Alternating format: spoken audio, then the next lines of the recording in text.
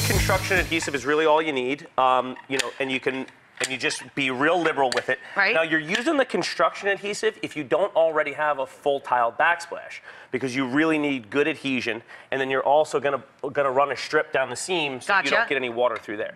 You have a full backsplash. Double-sided tape is perfectly acceptable. No kidding. There's really strong tapes on the market now. They will not let go.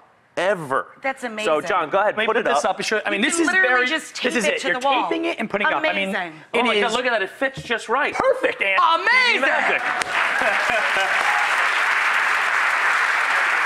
That is really cool. What you're also looking at, what you're also looking at here is this is acrylic. Right. So acrylic is the most accessible and most economical product you can use. It's affordable and you're adding light to exactly. the kitchen. You can right. see the light refracting already.